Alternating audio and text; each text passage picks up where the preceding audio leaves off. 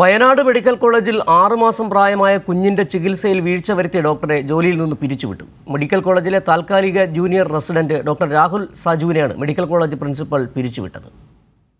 ഡോക്ടർക്ക് വീഴ്ചയുണ്ടായതായി കണ്ടെത്തിയതിനെ തുടർന്നാണ് നടപടി. ന്യൂമോണിയയും അനീമിയയും ബാധിച്ച് ചികിത്സയ്ക്കായി എത്തിയ കുഞ്ഞിനെ മതിയായ ചികിത്സ നൽകാതെ മടക്കിവിട്ടതിൽ ഡോക്ടർക്കെതിരെ ഗുരുതര ആരോപണമുയർന്നിരുന്നു വീട്ടിലെത്തിയതിനു ശേഷം കുഞ്ഞ് മണിക്കൂറുകൾക്കുള്ളിൽ മരണപ്പെട്ടു. സംഭവത്തിൽ ആരോഗ്യവകുപ്പ് അന്വേഷണം നടത്തിയിരുന്നു. ഡോക്ടറുടെ ഭാഗത്തുനിന്ന് വീഴ്ചയുണ്ടായതായാണ് പ്രാഥമിക കണ്ടെത്തൽ. അപകടകരമായ സാഹചര്യം ഉണ്ടായിട്ടും കുഞ്ഞിന് ചികിത്സ ലഭിക്കാതിരുന്നത് സംബന്ധിച്ച് കൂടുതൽ അന്വേഷണം ആരോഗ്യവകുപ്പ് നടത്തുന്നുണ്ട്. കൂടുതൽ പേർക്കെതിരെ നടപടി ഉണ്ടായേക്കും. കാരാട്ടുകുന്ന് ആദിവാസി കോളനിയിലെ ബിനീഷ് ലീല ദമ്പതികളുടെ ആറുമാസം പ്രായമുള്ള കുഞ്ഞാണ് കഴിഞ്ഞ മാർച്ച് ഇരുപത്തിരണ്ടിന് രാവിലെ മരിച്ചത്. പ്രസവശേഷം കുട്ടിയെ സന്ദർശിച്ച് പരിചരിക്കേണ്ട കാരക്കാമല സബ് സെന്റർ ജീവനക്കാർക്കും ഐ സി ഡി എസ് അംഗങ്ങൾക്കും വീഴ്ച സംഭവിച്ചതായും ആരോഗ്യവകുപ്പ് കണ്ടെത്തിയിട്ടുണ്ട്. മാനന്തവാടി മെഡിക്കൽ കോളേജിൽ എത്തിച്ച കുഞ്ഞിന് കുഴപ്പമൊന്നുമില്ലെന്നും പിന്നീട് ശിശുരോഗ വിദഗ്ധനെ കാണിച്ചാൽ മതിയെന്നും പറഞ്ഞാണ് തിരിച്ചയച്ചതെന്ന് കുടുംബം ആരോപിച്ചിരുന്നു. കൈരളി ന്യൂസ് വയനാട്.